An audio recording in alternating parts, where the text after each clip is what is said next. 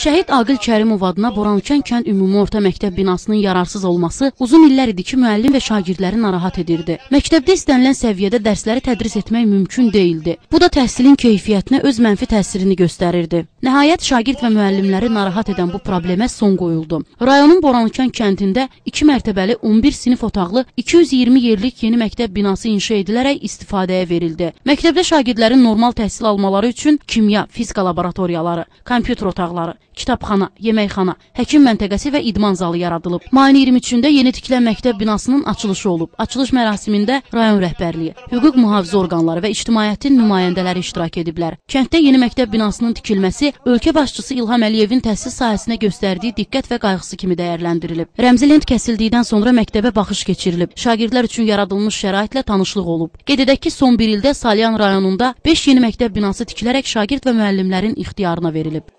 Aytan Sakit qızı Eşən Feyzullayev, Zahid Aydınoğlu, Salyan.